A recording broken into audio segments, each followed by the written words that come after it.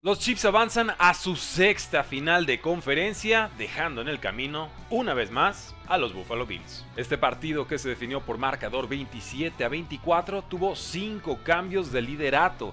Finalmente fue la falla del pateador Tyler Bass desde 44 yardas con 1.43 en el reloj, lo que definió el encuentro. Mahomes completó 215 yardas, 2 touchdowns y 0 intercepciones. Sus targets principales fueron Travis Kelsey, 75 yardas, 2 touchdowns, y Marqués Valdez Scantling, sorpresa, 2 recepciones y 62 yardas. Sea Pacheco por tierra también tuvo una noche importante, con casi 100 yardas y un touchdown en 15 acarreos. Que Chiefs avanza a final de conferencia ya no es sorpresa, y que Bills decepcione tampoco. Y es que este roster de los Buffalo Bills estaba diseñado para competir y ganarlo todo en este año. El contrato de Josh Allen se vuelve bastante más caro en 2024 y esto significa que estarán con menos 40 millones de dólares en espacio salarial. Llegó el momento de recortes importantes en Buffalo y ninguno será más importante que el receptor Stephon Diggs, un jugador de 30 años que tuvo muy mala producción en la segunda mitad de campaña y que parece ser un cáncer de vestidor. También fue muy cuestionada la decisión de jugársela en cuarto down en su propio campo. De Sean McDermott buscó una jugada de engaño con DeMar Hamlin que sinceramente no engañó a nadie. San Francisco sobrevivió contra los Packers y es que necesitaron una segunda mitad poderosísima para superar a Jordan Love y compañía. El marcador fue de 24 a 21 con 128 yardas totales y dos touchdowns de Christian McCaffrey. Anota con 1.07 en el reloj y fue una diferencia que no pudo superar Green Bay. El quarterback Brock Purdy tuvo problemas de precisión bajo la lluvia y completó su noche con 59% de pases, 252 yardas, un touchdown y 0 intercepciones. Su receptor principal fue George Kittle con 4 recepciones, 81 yardas y un touchdown. Hay que vigilar el estatus de Divo Samuel, quien salió en el primer cuarto con una lesión de hombro y no pudo volver es seria duda para final de conferencia. Por su parte, Jordan Love tuvo momentos importantes, pero también varias equivocaciones. 62% de pases completados, 194 yardas, 2 touchdowns y 2 intercepciones en la segunda mitad. A eso le sumamos las fallas de su pateador Carson Landers. San Francisco es el justo ganador de este duelo, que lo tendrá como local en final de conferencia. Ganaron los Lions, el equipo del pueblo, a unos bucaneros respondones, pero que no tuvieron la defensa para detener a Jared Goff y a Jameer Gibbs. Goff completó 70% de sus pases para 287 yardas, 2 touchdowns y 0 intercepciones.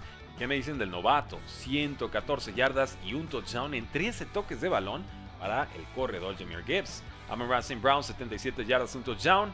El ala cerrada Sam Laporta, 9 recepciones, 65 yardas. Ellos también apoyaron de forma importante. La defensa del coordinador Aaron Glenn tuvo 4 capturas y 2 intercepciones, ninguna más costosa que la de los Bucaneros en su última serie ofensiva. Los Bucaneros, Baker Mayfield tuvo casi 350 yardas y 3 touchdowns. Una de las intercepciones no fue culpa suya pero la segunda sí, y ahí se terminó el partido. Y Baltimore le puso una paliza 34-10 a unos Houston Texans que no tuvieron ofensiva. Lamar Jackson tuvo 252 yardas totales y 4 touchdowns, completó 73% de sus pases y no entregó el balón.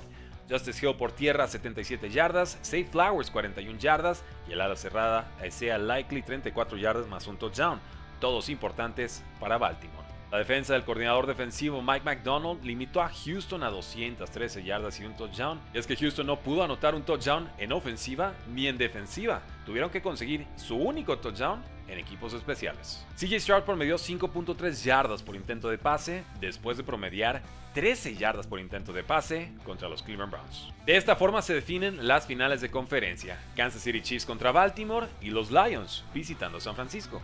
¿Quién crees que gane? Haznos saber en la casilla de comentarios.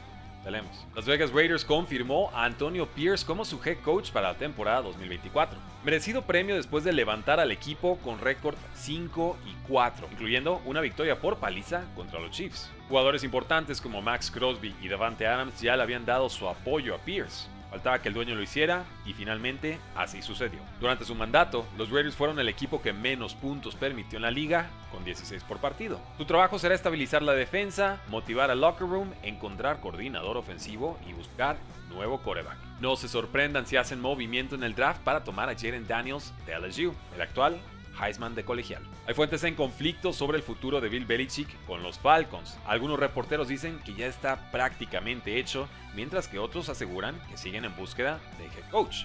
Van a entrevistar a Mike Grable y a Jim Harbaugh en Atlanta esta semana. Los Eagles despidieron a su coordinador defensivo Sean Desai y a su asistente defensivo Matt Patricia. El head coach Nick Sirianni sobrevive una temporada más. Los Titans entrevistaron al ex head coach de Stanford David Shaw lo cual lo convierte en el décimo candidato para su vacante. Y los Chargers entrevistaron al coordinador ofensivo de los Lions, Ben Johnson, el pasado sábado, aunque el favorito sigue siendo Jim Harbaugh. El guardia izquierdo de los Chiefs, Joe Thuney, sufrió una lesión de pectoral y es seria duda para el juego contra Ravens.